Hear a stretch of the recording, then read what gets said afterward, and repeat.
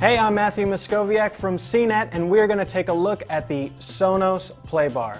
There have been rumors of a Sonos soundbar for a long time now, but it's finally here, although it's going to set you back $700.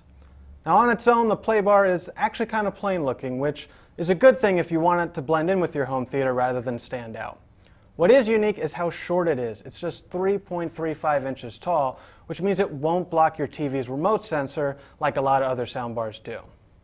The playbar is also unique in that it can be positioned either flat on a tabletop or flat up against a wall if you have a wall-mounted setup. Sonos even includes two different remote sensors on the playbar so it works well in both positions.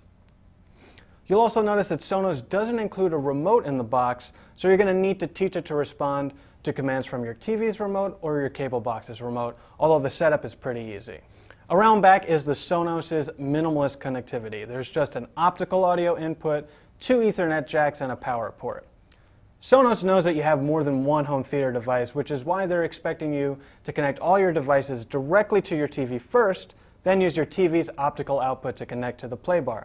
In a lot of ways, it's a cleaner solution, assuming that your TV has enough inputs. Now, unlike a lot of soundbars at this price range, the Playbar does not come with a wireless subwoofer, although it will work with the Sonos Sub, which you can add wirelessly to the system. Even better, you can add two Play 3 speakers to the system as rear channels, creating a true wireless 5.1 home theater system. Although altogether that ends up being a pretty expensive system, but it is nice if you've already bought into the Sonos ecosystem. And of course with the Playbar you get access to Sonos's best-in-class digital music software. And that means you can access all of your digital music, including your personal collection and nearly every important streaming music service through Sonos Controller app. And the big question with the Playbar is, how does it sound? And, well, it's complicated.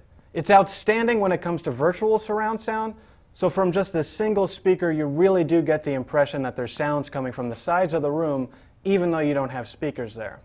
But on the other hand, without the subwoofer, there's not a lot of bass here, and that really shows up if you're watching action movies, or especially if you're listening to bass-heavy music. The other thing is that the Playbar does a lot of sound processing to get that really big sound. And if you're an audio purist, you're really going to notice that movies and music don't sound like you expect them to. And ultimately, that's why it's hard for me to love the Playbar.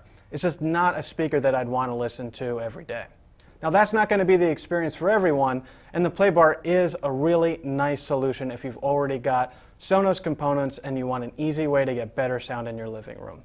But there are other soundbars around for the same price that sound significantly better, like the Speakercraft CS3 and the Harman Kardon SB16. So if you don't already have a lot of Sonos components, you'll want to check out those first. I'm Matthew Moskovciak, and this is the Sonos Playbar.